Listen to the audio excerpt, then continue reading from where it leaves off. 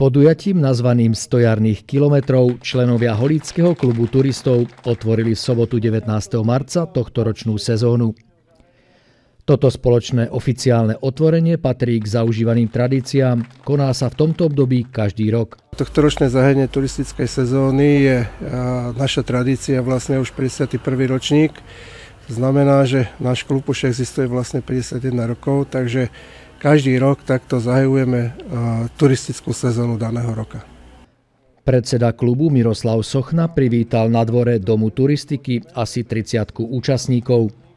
Veľa príjemných zážitkov a úspešnú sezónu prišiel milovníkom prírody a zdravého pohybu zaželať aj primátor Zdenko Čambal.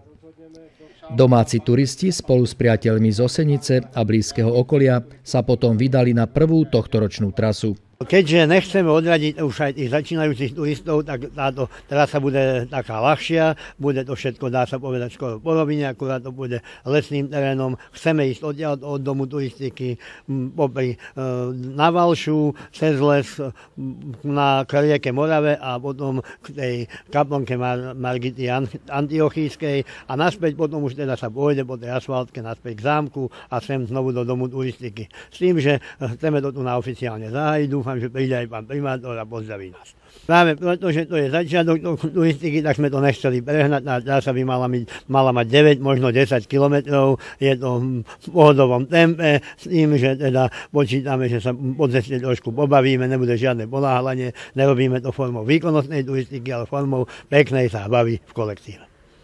Plán tohto ročných podujatí Holického klubu turistov je opäť pestrý a bohatý. Je medzi nimi aj viacero akcií určených aj širokej verejnosti. Tak uh, máme oddiel, peš, oddiel pešej turistiky, vodáckej turistiky, lyžiarskej turistiky a samozrejme oddiel VHT, ktorý teda veľmi aktívne pracuje a samozrejme máme ešte cyklo, aby som nezabudol. Sme otvorení všetkým, ktorí majú záujem o turistiku a chceli by vstúpiť do nášho klubu turistov v Holíči, boli by sme veľmi radi a veľmi radi by sme privítali hlavne aj mládež. Potrebovali sme deti, s ktorými sme veľmi radi pracovali a tieto nám chýbajú. Už 24. apríla sa záujemcovia budú môcť pridať k holickým turistom a spolu s nimi absolvovať niekoľko kilometrovú prechádzku jarnou pálavou. 30. apríla je pripravené ďalšie podujatie, už 45. ročník nočného pochodu – Organizátori pozývajú všetkých, ktorí majú záujem prejsť sa okolitou prírodou Holíča pod nočnou oblohou.